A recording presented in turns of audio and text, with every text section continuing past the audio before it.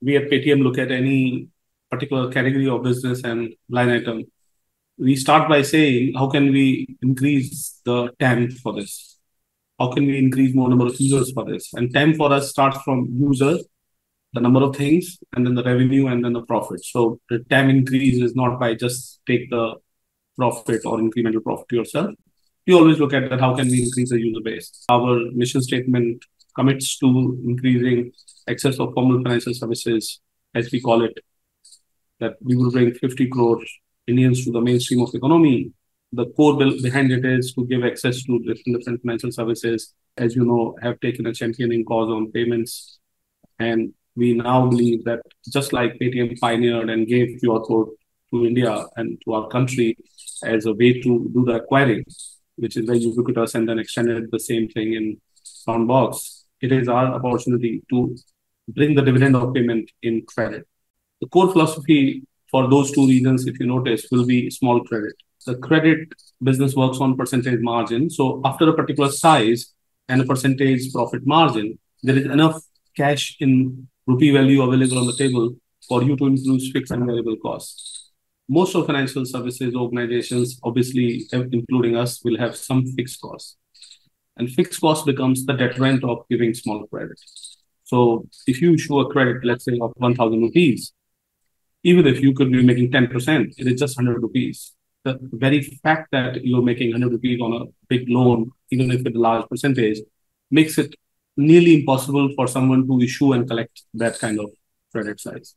Our commitment to India, our commitment to our country has been that we will solve for small payments ubiquitously, and extending that is we will solve for small credit ubiquitously with that kind of approach, it is very imperative for us to split the work and extend, uh, bring a partner in the play.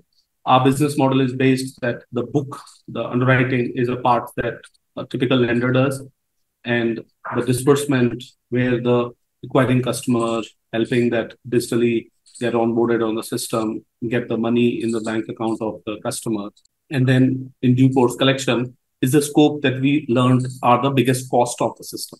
Or these are the biggest inefficiency, if you will, or under executed scope, or now that India is going through mobile internet revolution, could be the place where we could innovate. So Paytm has done innovation on distribution and collection of small credit. And I believe that that is why we champion the same when it comes to loan size, ticket size of what Paytm disperses. So we're rather happy being dispersing one crore loan of one rupee instead of one loan of one crore rupee. Obviously, this is a metaphoric number.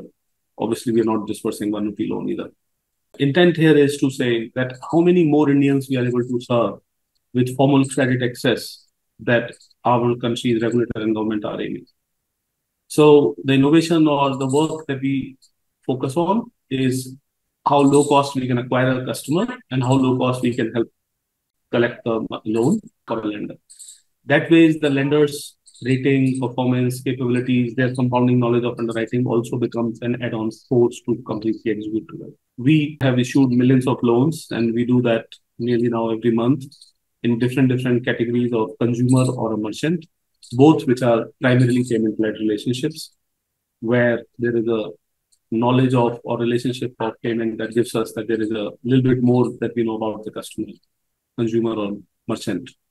So we champion 1000 rupee loan, 500 rupee loan, 200 rupee loan, which typically are otherwise going to loan sharks or which is where if the technology can solve, it can easily solve 1000 crore rupee loan. And 1000 crore loan has a lot of maneuverability of costs there because there is a large enough margin as a rupee value again. So our business model is how at an extreme low cost to the customer, at an extreme low cost to the lender, you can bring both of them together.